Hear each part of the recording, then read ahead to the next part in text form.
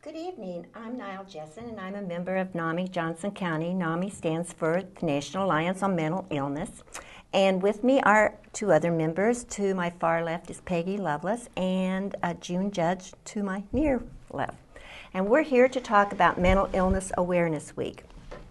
And um, before we talk about that, let's talk about where we've been all day today. We've been at a conference, which was the Choices in Recovery out in Coralville, and maybe members would like to talk about it. Yeah, um, we started out this morning and we had a presenter um, that w- came to us from uh, Janssen Pharmaceuticals, who sponsored the, the conference, and they she did a wonderful job. We really talked about what is available here in this community and um, what was available in this presenters community, and there was a huge difference between what we have and what she had there, and it was just dramatic to see the differences because For mental illness. for mental illness treatment right um, the one thing that did come up that we found i found really very fascinating was the aspect of having treatment dogs and treatment dogs are, can be trained at just like dogs treatment dogs Right. for um, people with blindness and, and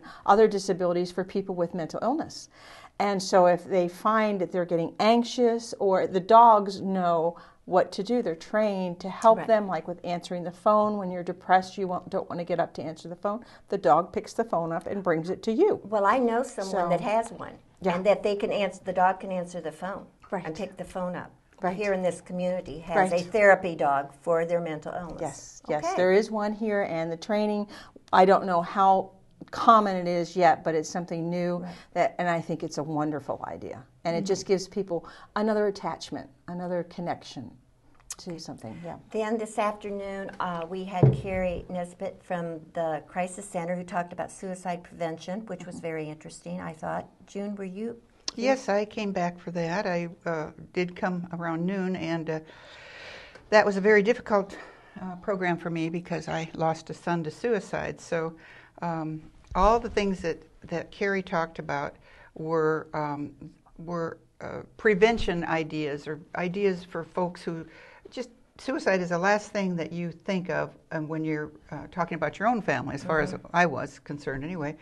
Never think it's going to happen to you, and so uh, after my son died, then I saw all of these signals and signs that Carrie talked about today, and I had not a clue at the time. So this is a very difficult one for me to sit through, but certainly wonderful that people are uh, becoming much more aware. One of the ideas there was that uh, it doesn't uh, make a person commit suicide to say, "Are you feeling suicidal?" Right, right. And uh, so that's hard for people to say to their loved ones, but Right.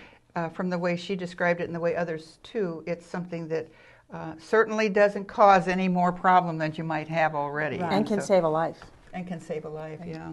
And a lot of it is related to mental illness. yes Yeah, she said what Right. was it? Ninety percent of suicides, of completed suicides, are I have, are with people with mental illness. And the rest are accidents. Well, Because I can't possibly. imagine people Yeah. uh, taking that way out unless they do have a, a depression that's so painful that they can't see any other way. So, anyway, yep, that was quite a Right, Quite a- emotional time for you. yeah, really Right, bad, really bad. And then after the um, presentation on suicide, we had a, a film that is going to be released on PBS called Minds on the Edge Facing Mental Illness. And it was marvelous. It was a panel discussion of some, some very, very knowledgeable people. And it was just awesome. Very inspiring. Right, and it's NAMI's um, outreach campaign to the community to uh, raise awareness about mental illness, but also to uh, possibly bring about change in mental health reform. Yes, So that's the big thing. And the Yes, people the on the s- the panel system. actually, yeah, and the people on the panel actually, uh, through the Fred Friendly Symposium idea, um, actually uh, acted out uh, what happens when you have a child or an adult who is psychotic, is uh, absolutely, obviously in need of medical help for a mental illness, and what is happening right now, today, as we speak, because you can't get help for those folks. And there was Pete Earley who was here, and he Right. wrote the book Crazy, and he was a very um, emotional part of this panel because he couldn't get help for his son, and his son is in the, the prison system now. And uh, so It's that sad. one particular movie I felt showed the whole scene of what's happening in the United States right now. Right. Right. Yes, and it was it was just very very Right. inspirational. And we hope that uh, the NAMI uh, nationally has handed it, uh, handed out that DVD to at the national convention, and they want people in all communities to show it so they can understand what is going on and what needs to happen. They So, having said that, if there's any groups out there that would like to show this um, uh, film, please let us know. That's Yes, correct. You can Okay. call NAMI at 337 5400. NAMI Johnson County. We're Yes. an affiliate. Okay, got that. Yes. And actually, all the social concerns people, the people that meet on a regular basis for crisis intervention, like the suicide prevention, and the uh, correctional people, the, the people in our community who are so concerned about social needs, the people, uh, you know, the homeless, the people eating out of dumpsters, which we don't see as much around here because we feed them pretty well here. Yeah. we have the free lunch. But we have- still have too many individuals that are incarcerated that do have a mental illness. Oh, indeed. I mean, mm-hmm. even in Johnson County, Yes. we do. Yes. Yes, Yes. So Again, is- if you don't have a support system, Right. you end up either in the criminal justice system, homeless, or dead. And did That's you- your choices. when my sons got sick, they wanted to get help and they went to the hospital to get help, and because they didn't have insurance, they were turned away. And I thought that hospitals and doctors had Hippocratic oaths to treat people who were sick. Well, evidently not if you have an illness of the brain, because they wouldn't treat my sons. And if it weren't for myself and others who Right. cared, they would be Some support walking system. in the homeless Uh, with the homeless. Is that the, the state law about being of imminent danger, Danger to to yourself, yourself and you, you know you won't be admitted?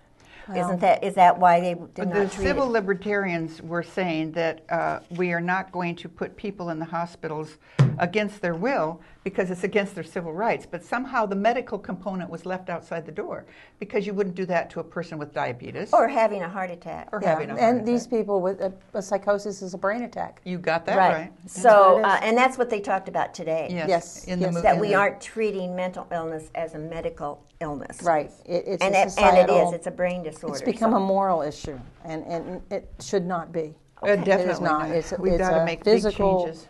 medical issue. Right. Yeah.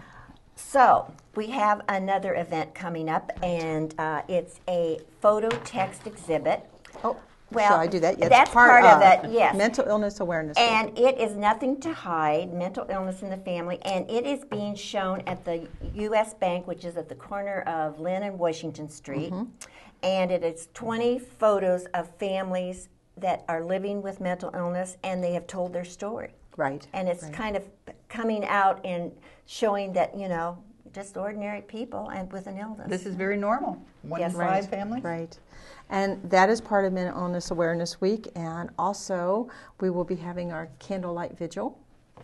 Um, Right. yes. Okay. We will have that at the Old Capitol. That is October 4th. That's Sunday at 6:30 p.m. and everyone is invited to attend.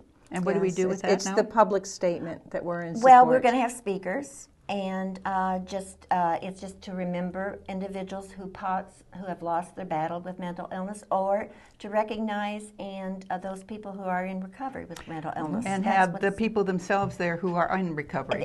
That's Yes. right, absolutely. And we talk about more about recovery, and that's a new kind of Yeah, when- catchphrase with, with mental illness. When Uh, my sons got sick, um, the people that were their medical uh, people that we finally got a hold of said, "Oh no, no, no! They never recover. They never recover." Well, there is recovery that means you get to be as well as you would like to be, and the Right. choices are there. But unless If you get the the, choices supports. are there. if, If the choices are there. exactly. how, and that's the medical, I mean, the community, psychiatric community, and people are recognized that, There that you just don't give medication and go home. It's, Yeah. it's, it's the holistic approach. Right? Yes. And what does that mean? What does that mean? Recovery and rehabilitation. I, I mean, it means environment, emotional, You have to spiritual. have a house. You have to have a That's place to live. that's right. You got to start with a place to live. And that's a, can be a problem. Yes, that's a big problem. Okay. Okay. And then you have to have something social to do. support, social supports, employment, um, and all those good things. Yes, yeah. social support. I guess I can put this. And down I think you. Yeah. Okay. Okay. Put that down. All right. All right. Okay. And then there's some other presentations for Mental Illness Awareness Week too. Um, you want to go through some of those too? Uh, the one on Monday, I think, is our special event. NAMI uh, was established in 1979, so we are celebrating our 30th anniversary. Yay. and uh, what we're going, how we're going to celebrate it is we're going to show the